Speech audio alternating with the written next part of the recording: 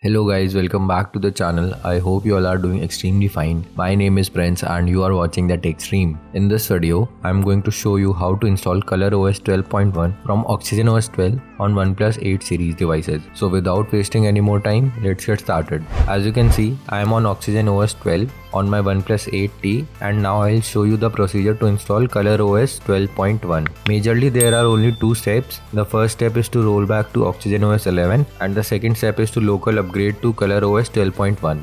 Now let's roll back to OxygenOS 11. So before starting the downgrade procedure, please take a backup of all your data as your phone will be completely wiped. After taking the backup, the first step is to download the APK file linked in the description below. Now install the file and now download the downgrade package file for the device. Once that file has been downloaded, there might be a chance that it has .jar at the end of it. So if there is .jar written in the name of the file, remove .jar and rename it to .zip. Now we are going to open the application that we installed earlier. Select local upgrade and select the zip file or the downgrade package that we downloaded. Sometimes it will give the verification failed error for that, download the file again using your OnePlus device and start with local upgrade again. Wait for the file to get installed.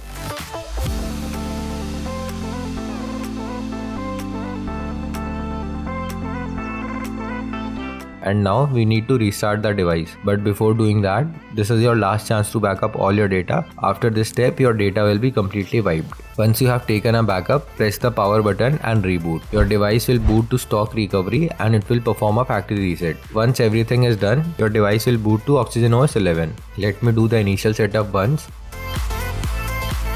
now if I go into the about info section, you can see that I have successfully installed OxygenOS 11.0.10.10. Now since we have installed OxygenOS 11, we need to local upgrade to ColorOS 12.1.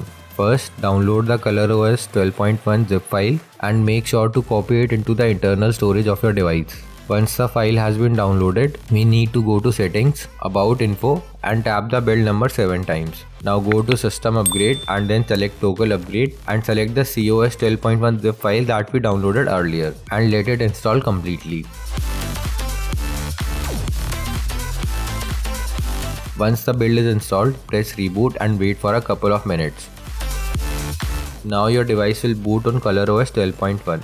Let me do the initial setup once and now if I go into the about info section you can see ColorOS 12 has been installed and the build number is C.26 so that's it that's how you can install ColorOS 12.1 from OxygenOS 12 comment down if you are facing any problems with this installation procedure. Subscribe to the channel for more tech videos. Thank you for watching